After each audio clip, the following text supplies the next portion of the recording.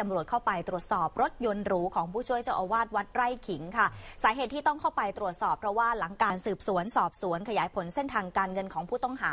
ในคดีทุจริตเงินทอนวัดนะคะไปพบว่ามีการนำรถไปถวายพระค่ะ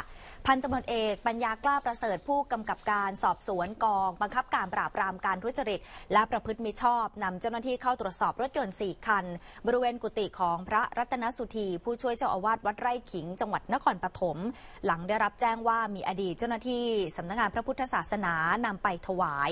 ซึ่งพระรัตนสุธียอมรับค่ะ ว่ารถ 3 คันตนเองมีชื่อเป็นผู้ครอบครอง ส่วนอีกคันเป็นรถที่ใช้ประจำจึงให้ลูกศิษย์ซึ่งทำหน้าที่ขับรถให้เป็นผู้ครอบครองเพื่อให้ง่ายต่อการดำเนินงานเรื่องเอกสารและการต่อทะเบียน รถแต่ละคันเนี่ยก็มีญาติโยมถวายเงินให้ซื้อ